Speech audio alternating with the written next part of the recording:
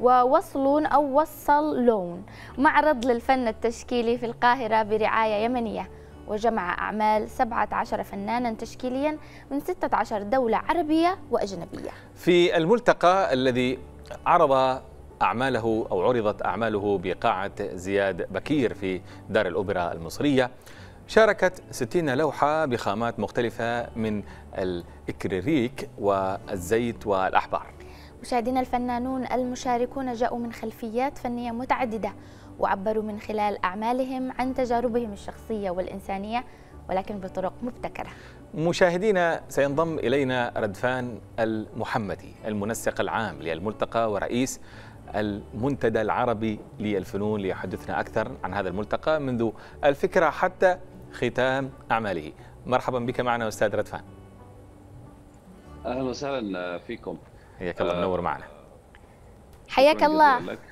حياك الله أستاذ ردفان وبداية لو نتكلم عن الفكرة أو الرؤية الذي قادتك لتنظيم ملتقى وصلون أو وصل لون يعني ومن أين جاءت هذه التسمية؟ ولازم تفصل بيننا لأنه في فريقين على النطق. فلو تقول لنا أصل التسمية اختلفنا هنا في البرنامج. أيوة. وصلون ولا وصل؟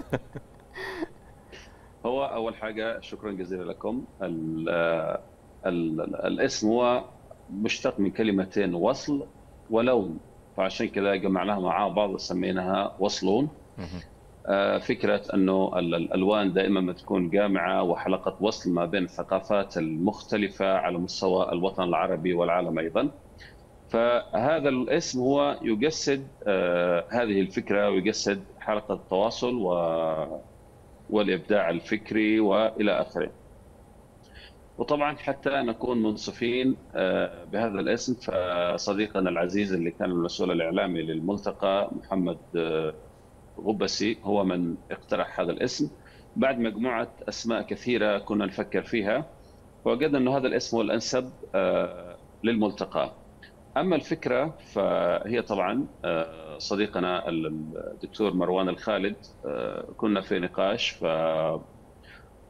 اقترح علي لو ننظم ملتقى أو فعالية دولية كالفعاليات التي شاركت فيها في لبنان وفي تونس وفي المملكة العربية السعودية فهذه كانت البداية للفكرة.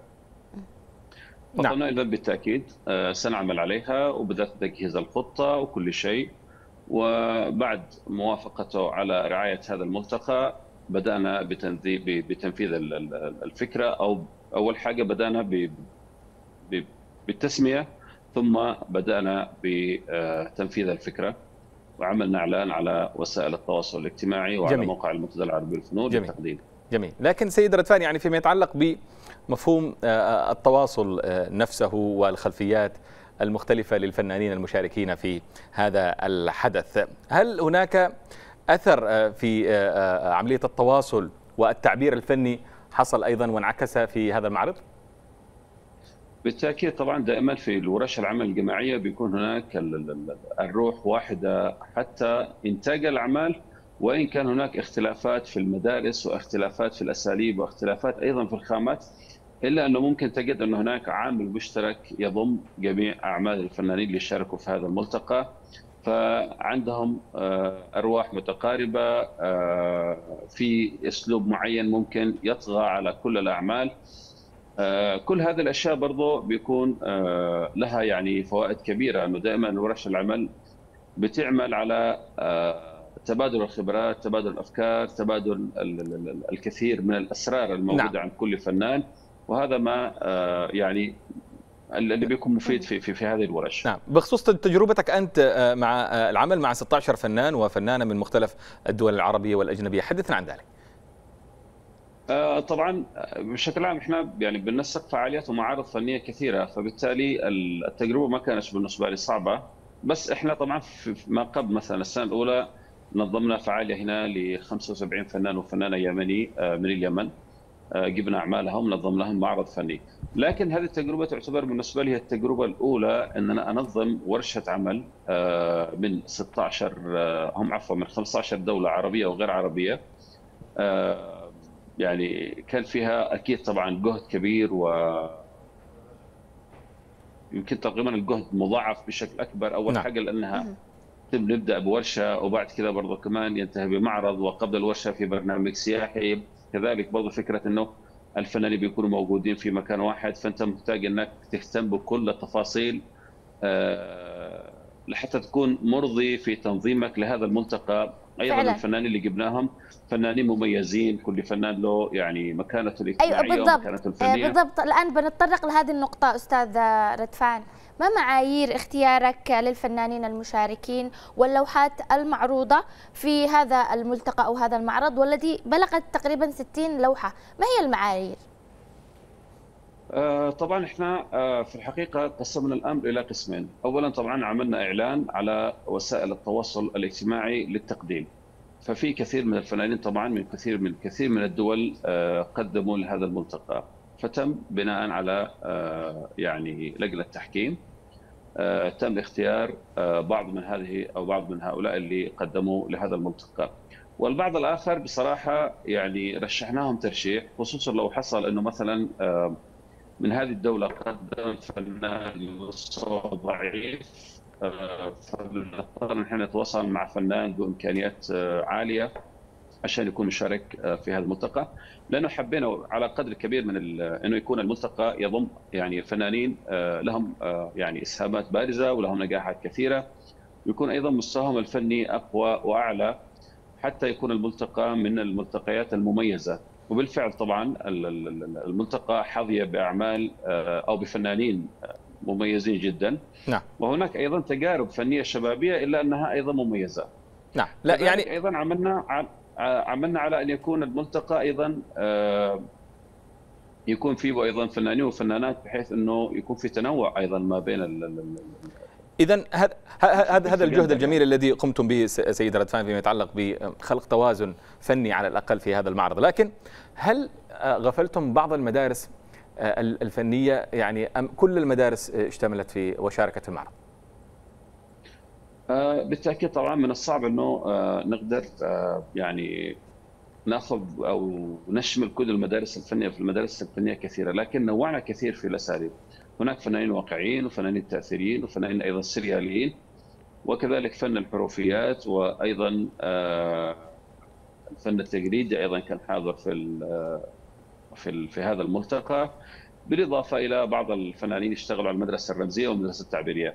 فهناك مدارس كثيرة أيضا يعني كانت موجودة إلا أنه مش كل المدارس الفنية لأنه أحيانا يتطلب اولا إذا كنا حنشمل كل المدارس الفنية والأساليب الفنية فهذا يحتاج له أول حاجة عدد كبير من الفنانين ويحتاج له إلى تنظيمات أعلى بكذا من كثير لكن نأمل إنه يكون السنة القادمة الملتقى أو النسخة الثانية تكون شاملة لعدد أكبر من الفنانين وبتنظيمات أكثر وأكثر حتى نكون منصفين مع نعم. مع كل المدارس ما دام أستاذ ردفان ما دام أنت تتحدث عن نسخة قادمة إن شاء الله بإذن الله الله يوفقكم فيها وييسر أموركم.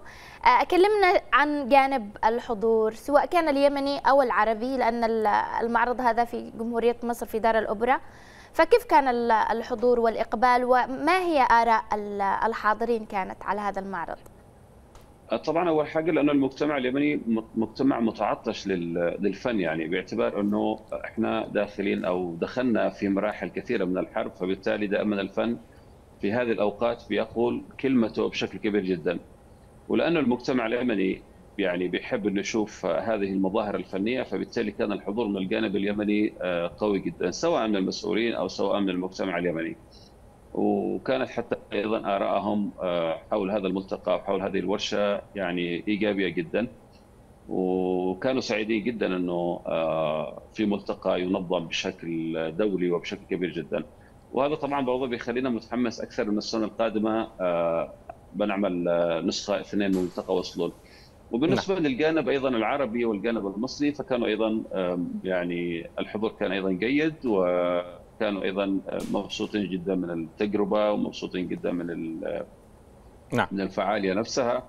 حتى إنه في معنا الفنان مثلا الدكتور طاهر عبد العظيم وكان ضيف شرف الملتقى يشارك معنا في هذا الملتقى. هو فنان مصري قدير.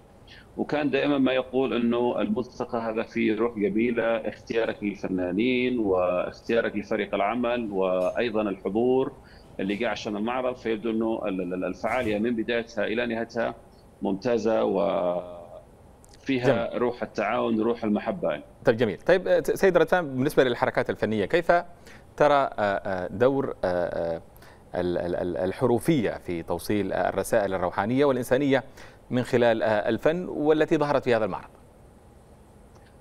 طبعا من مدرسة الحروفيات هي مدرسة عربية وبالتالي نفتخر فيها بشكل كبير جدا. ولها أيضا برضو حضور قوي حتى على المستوى العالمي. فدائما المدارس مؤسسيها أو روادها يعني بيكون آه، لهم آه، مكانة عالية. فبالتالي المدرسة الحروفيات فإحنا نقدر نقول إنها مدرسة نفتخر فيها لكونها عربية. زي مثلا فن المنونمات والزخرفة الإسلامية. فلما نقول الإسلامية فمعناه إنه هذه المدرسة أيضا مدرسة إسلامية. فبالتالي نفتخر فيها أيضا برضو كمان أمام الأوروبيين وأمام بشكل عام آه، المدارس الأخرى اللي طبعا كلنا معتمدين أو متعودين إنها تظهر من أوروبا زي المدرسة الانطباعية والمدرسة السريالية والمدرسة الكلاسيكية وغيرها من المدارس. كلها أو أغلبها انتجت من من أوروبا.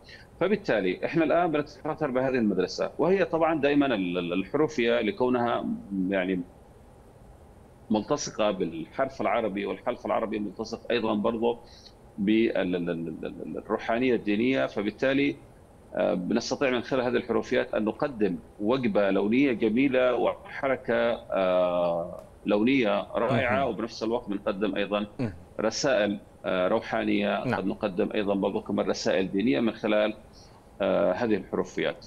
جميل أستاذ ردفان.